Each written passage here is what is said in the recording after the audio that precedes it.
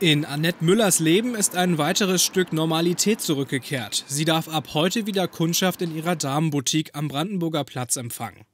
Dabei muss sie aber die neue Corona-Verordnung beachten.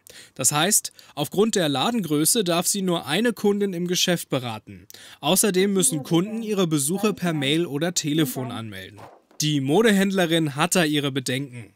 Wie viele Kunden machen denn einen Termin? Sind wir mal ehrlich, wir verkaufen Luxus, wir verkaufen das, was das Leben schöner macht. Deswegen haben wir ja auch in letzter Zeit zugehabt. Ne? Wir sind nicht systemrelevant. Und viele Kunden kommen eben auch zu uns und sagen, oh, mir war heute so, ich will mir was Gutes tun oder ich hatte heute gerade Zeit, es hat sich ein Termin ergeben, der ausgefallen ist und jetzt bin ich bei euch.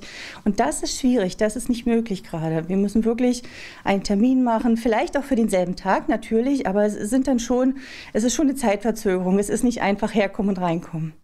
Für viele Cottbusser bedeutet die heutige Öffnung eine große Umstellung. Wie Kunden an ihre Termine kommen, hängt vom jeweiligen Geschäft ab. Grundsätzlich ist alles möglich. Vom Anruf im Geschäft, Mail, Fax, Messenger-Dienst bis hin zum spontanen Nachfragen am Eingang. Viele Läden bieten Online-Reservierungen an. Auch hängen in und vor den Geschäften Plakate mit Hinweisen.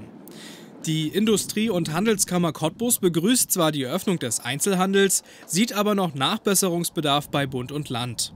Was wir allerdings vermissen äh, von der Politik äh, ist dieser angekündigte Vierklang. Ja, also dieser Gleichklang zwischen Impfquote, Testergebnisse, Öffnungsstrategie und Kontaktbeschränkungen. Und das sehen wir eben in diesen Verordnungen nicht, sondern in den Verordnungen wird eben immer noch mit den Inzidenzwerten äh, gearbeitet. Und ähm, äh, es, ist nicht an, es ist ja angekündigt worden, dass man im Prinzip auch Impfquote und Testergebnisse mit in die Öffnungsstrategien einfließen lässt. Und das sehen wir hier momentan nicht. Auch wenn der Handel jetzt wieder startet, viele Cottbuser Händler hätten sich wie die IHK eine weitergehende Öffnung gewünscht. So auch Annette Müller. Trotzdem ist sie froh, dass sie überhaupt öffnen kann. Alles ist besser als zu. also das steht oben drüber mit einem fetten Ausrufezeichen, weil es macht ja auch was mit uns. Es macht ja auch mit denen, die hier stehen, was, wenn wir eben nicht zu Hause sind, sondern wenn wir hier agieren dürfen und Kunden empfangen dürfen.